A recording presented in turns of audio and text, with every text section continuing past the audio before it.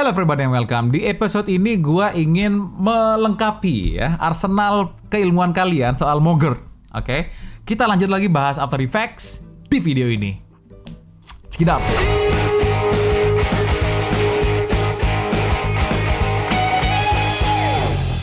Kali ini kita akan sedikit membahas lebih dalam mengenai Mogert ya. Mungkin di episode-episode lalu kita sudah bahasnya, tetapi di sini gue akan uh, membuat sebuah Mogert contoh, contoh Mogert ya. Kemudian apakah Mogert itu editable atau enggak? Oke, okay? apakah kita bisa edit uh, sebuah Mogert atau enggak? Karena gini, ketika kita mendownload sebuah Mogert, sebuah preset ya, yang mana Mogert itu kan template ya. Kalau kita pakai mentah-mentah Mogert itu kan maka tidak menjadi kita ya tidak ada kita di dalam Mogert itu gitu loh tidak ada ciri khas kita oke okay? Jadi buat kalian yang mungkin secara uh, keilmuan desain ataupun secara inspirasi lagi men apa lagi art block ya aduh lagi nggak bisa ngedesain Mogert nih alright ada solusinya ya kalian tinggal download Mogert kemudian kalian tinggal edit Mogertnya menjadi ciri khas kalian alright gua akan bahas satu-satu di After Effects Basic kali ini. Let's check this out. Alright. Oke, okay, uh, yang pertama kita akan belajar bikin Mogert ya. Tentu saja sebenarnya kalau untuk komposisi After Effects sih nggak terlalu ngaruh ya berapa FPS-nya ya. Kalau misalkan kalian mau setting 60 FPS juga untuk previewnya nggak ada masalah, silahkan. Karena ntar sebenarnya si komposisi itu juga komposisi itu juga akan ngikutin komposisi kita yang di Premiere Pro sih sebenarnya, sebenarnya ya.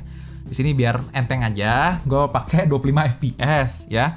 Kemudian uh, di sini kita menggunakan workspace essential graphic yang mana ya secara nama kita udah tahu ini emang dikhususkan untuk essential graphic sih, mempermudah. Oke. Okay? Karena kita akan bikin contoh Mogertnya. Nah, biasain kalau mendesain, oke, okay, mendesain Mogert, mendesain lower thirds itu menggunakan title save area. Uh, baik itu di After Effects, baik itu di Premiere Pro ya, karena kita hidup di zaman yang mana monitor itu berbeda-beda ukurannya. Alright, baik itu monitor HP, monitor TV ataupun monitor-monitor lainnya ya, proyektor misalkan ya. beda loh ya, beda ya. Proyektor bioskop juga kan pakai akademi standar gitu loh. Nggak 16 banding 9 banget sih sebenarnya. Tapi ya begitulah ya. Intinya gunakan gunakan title save action area. Oke. Okay?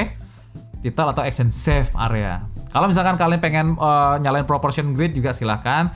Itu biasanya untuk uh, mengkomposisi desain kalian. Alright, kita mulai dari pertama ya. Gua akan mencontohkan sedikit aja, sedikit contoh membuat Mogart yang simple. Oke, okay?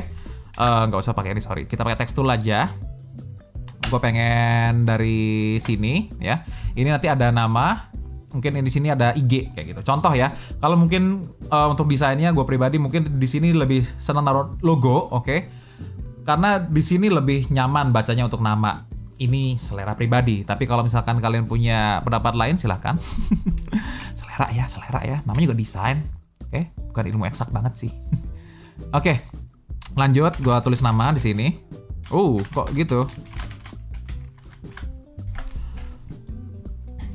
Montserrat aja ya. Gue biasa pakai Montserrat karena open source. uh, mungkin di sini di atasnya gue pakai bold Oke. Okay. Uh, boleh nggak di sini dikasih apa namanya langsung kita enter aja biar satu layar aja boleh aja.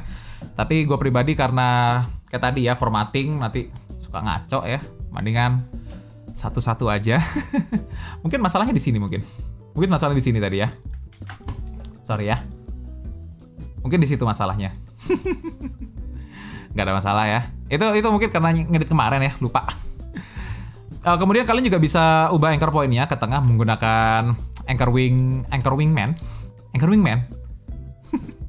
Window anchor point mover, sorry. Ini bawaannya dari si kuda ya. Kayak gini.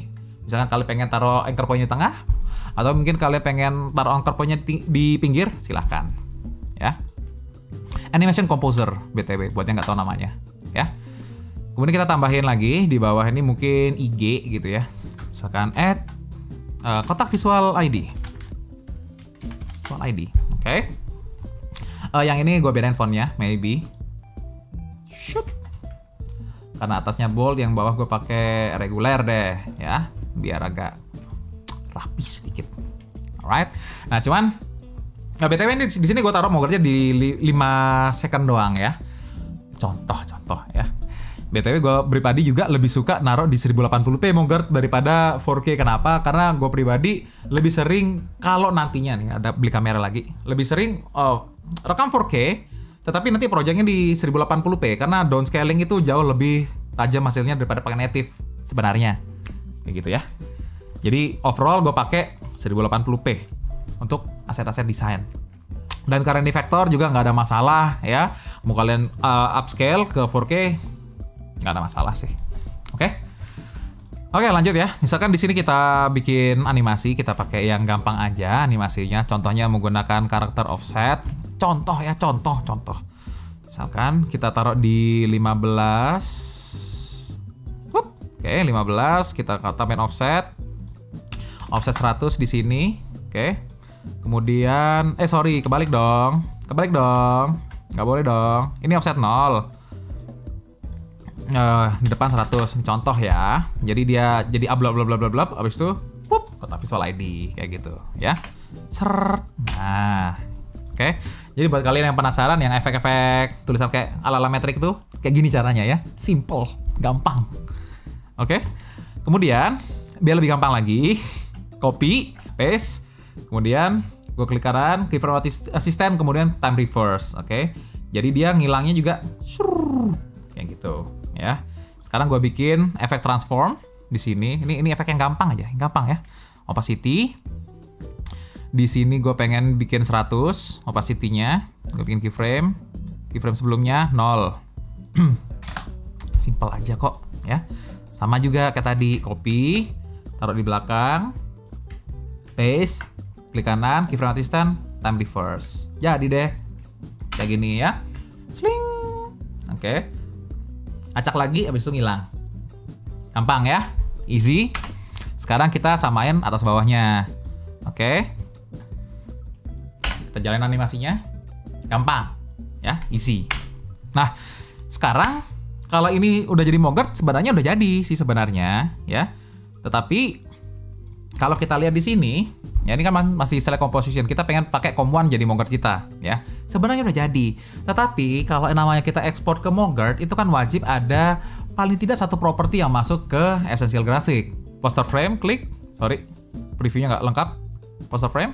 Nah, kayak gitu, oke.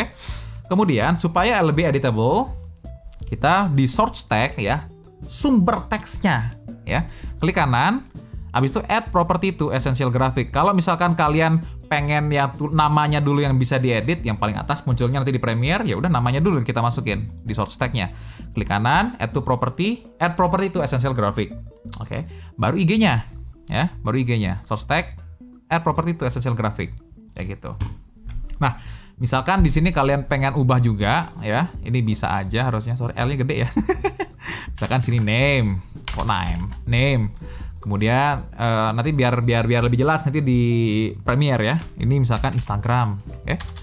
Instagram, kayak gitu, oke? Nama Instagram. Kemudian eh, ini sebenarnya sudah sudah editable, tapi kalau misalkan kalian pengen tambahin properties yang lebih editable lagi, silahkan klik sini. Kemudian klik centang di sini 3 biji ya. Jadi kita bisa ubah fontnya juga, kita bisa ubah eh, size adjustmentnya juga, kita bisa ubah Fox stylenya. Kayak gitu. Gampang ya? Misalkan kayak gini ya, bakal muncul seperti ini nanti di Premiere Pro kalian. Oke, dua-duanya kita samain nih. Enable, enable, enable ya. Hup, jadi deh ya. Sudah jadi Mogart yang editable, lower third yang simple dan juga cukup keren ya. Sebelum kita save Eh, mungkin karena ini adalah sebuah warna yang cukup plain, yang mana itu warna putih saja, oke? Kita tambahin juga, mungkin di sini kita tambahin drop shadow ya di folder perspektif. Tambahin drop shadow, shoot satu, satu lagi, shoot dua ya. Buat ngecek, kita matiin ini ya, supaya kita lihat nih kosongnya seperti ini. Oh nih, dah dua-duanya ada berdrop shadow yang sudah cukup. Misalkan drop shadownya 50%, good. Oke, cukup ya. Eh, mungkin misalkan kita mau update lagi, silahkan poster time kita update, monggo. Kemudian kita tinggal eh, save dan kasih nama aja, ya. Misalkan taruh desktop nih, ya namanya uh, cafe uh, name and IG.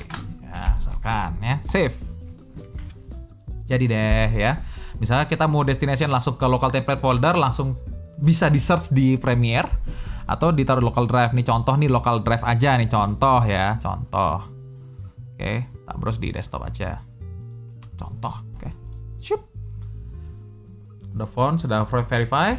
Udah kelar dia akan selesai di depan. Shing. Kayak gini deh ya muncul ya. Jadi uh, apa namanya?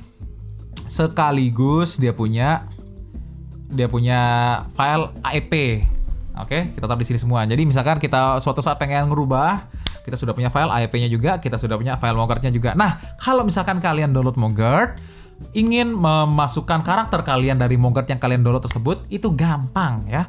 Karena kalau kita tahu sebenarnya yang namanya file Mogart ini, bahkan file After Effects itu sendiri, itu sebenarnya adalah sebuah file yang berisi file-file kecil. Ya, sebuah file yang berisi file-file kecil, makanya namanya file format ya kan. Nah, kalau misalkan Mogart ini kita ekstrak, maka di dalam file Mogart itu ada file After Effects. Oke, ekstrak file, contohnya. Nih ya, cafe subscribe kecil nih yang kita jadiin contoh. Ini karena salah satu yang gua download ya. Cafe subscribe kecil. Nah, di dalam file ini ada project ya, ada project sama thumbnail yang kita bikin tadi ya. Tetapi dalam project After Effects ini sebenarnya masih ada project After Effects lagi yang bisa kita edit ya. Beda loh ya, beda loh. Jadi di sini kita harus 7-zip lagi, kita extra file lagi biar bikin folder baru lagi. Gak ada masalah, sebenarnya biar rapi aja sih. Project, kemudian di sini ya, subset kecil, dalam sini ada footage-nya. Ini contoh, oke. Okay. Di sini yang versi ini versi 15 ya. Ini gua download udah jadul banget ya, IPC yang bikin namanya. Ini ya, IPC lower third version sekian sekian sekian sekian kayak gini ya. Dan ini sudah beberapa ada perubahan yang gue bikin, tentu saja karena biar nggak plug IPC ya. Misalkan di sini gue kasih dia rounded rectangle di sini, tentu saja si gambarnya gue ganti. Kemudian ada beberapa uh, animasi yang gue tambahin juga biar lebih keren. Dan di sini gue kasih null object untuk uh, mengkontrol gerakannya kayak gitu loh. Gerak di sini makanya namanya ya, kayak gini. Oke. Okay? Uh, jadi biar lebih ini aja sih, biar lebih mudah, biar lebih apa namanya kalau misalkan kalian lagi art block ya pengen pakai template orang tapi nggak sama persis ya beginilah contohnya ya misalkan kalau sudah kalian selesai edit sesuai dengan keinginan kalian sesuai dengan karakter kalian ya kalian bisa tambahkan apa pun ke dalam essential grafik windownya ya. Misalkan kayak gini cuman komen aja sih sebenarnya. Komen kotak visual that's it. Nggak ada yang perlu diubah ya. Cukup itu aja. Karena ya minimal harus ada satu sih itu ya. Di situ tuh apa gitu misalkan ada source tag kayak apa gitu. Atau misalkan diisi komen aja. Uh, ekspornya sama aja lah ya.